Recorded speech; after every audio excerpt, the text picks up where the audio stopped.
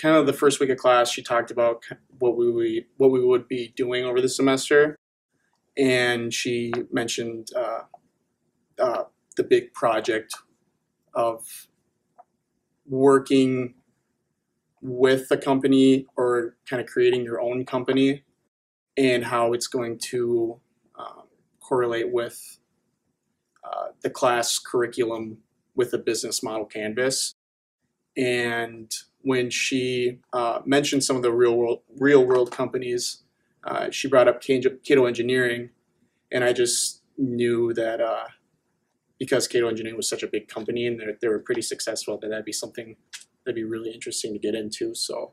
I really kind of came in here not knowing what I was going to be getting out of this class or getting myself into. And uh, when I found out that we are going to be doing this big project and we had the opportunity to do it uh, with a real world um, or a real business, um, I thought to myself, you know,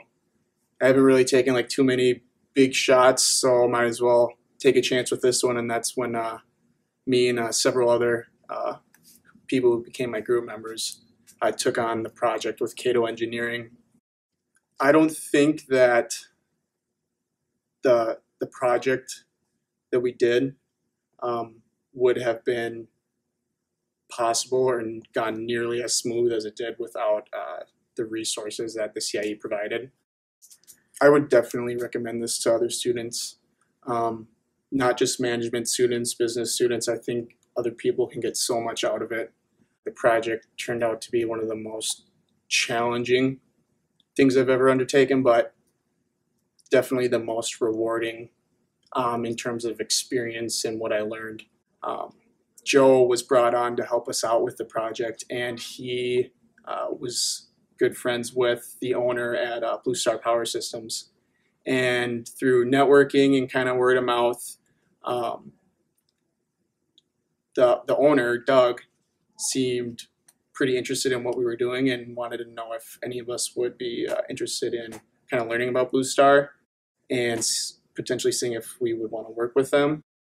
And sure enough, I, I uh, had given Joe my my resume, and not too long after, um, I got a call and an email from Doug, and just kind of